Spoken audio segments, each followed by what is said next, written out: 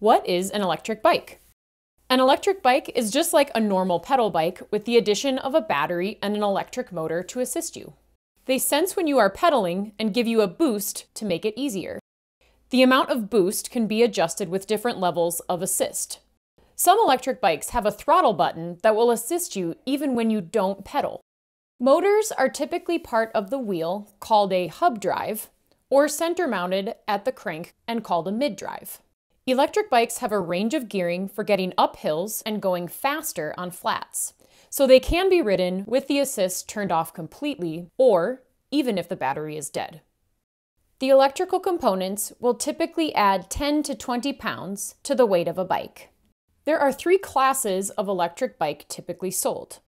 Class 1 offers pedal assistance up to 20 miles per hour. Class 2 will pedal assist or allow a throttle to assist up to 20 miles per hour. Class 3 will pedal assist up to 28 miles per hour, but has no throttle.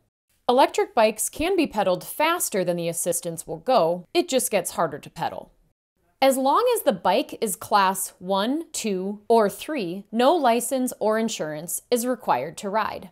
If you like this video, hit the button below and subscribe to our YouTube channel for more great videos.